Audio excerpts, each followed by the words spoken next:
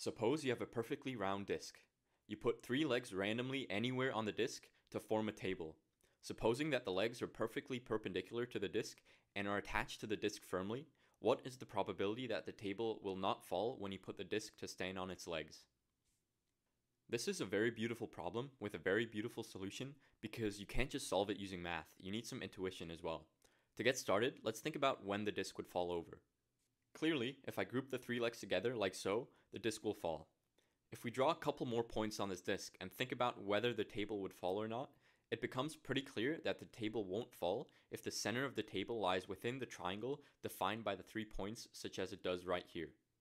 If the center is outside of this triangle, then the legs won't be able to offer enough support and the table will fall.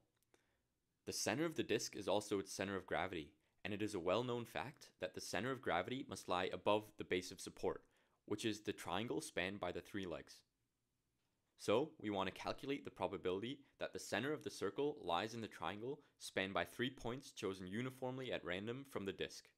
Since this probability is not dependent on the size of the disk, we can assume that it is a unit disk with center at 0, 0 in our coordinate plane.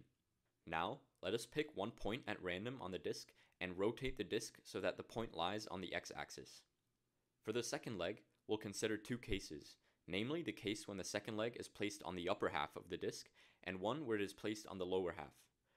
The probability that the disk doesn't fall is equal to the probability that the disk doesn't fall given that the second leg is on the upper half of the disk times the probability that the second leg is on the upper half of the disk plus the probability that the disk doesn't fall given that the second leg is on the lower half of the disk times the probability that the second leg is on the lower half of the disk.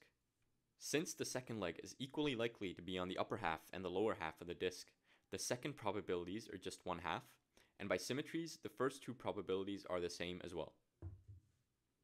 Therefore, the probability that the disk doesn't fall is equal to the probability that the disk doesn't fall given that the second leg is on the upper half of the disk. To calculate this probability, let's draw the second leg on the upper half of the disk. By drawing a line through the second leg and the center of the disk, we can see that if we put the third leg anywhere in the shaded region, the center of the disk will be in the triangle spanned by the three legs and the disk won't fall.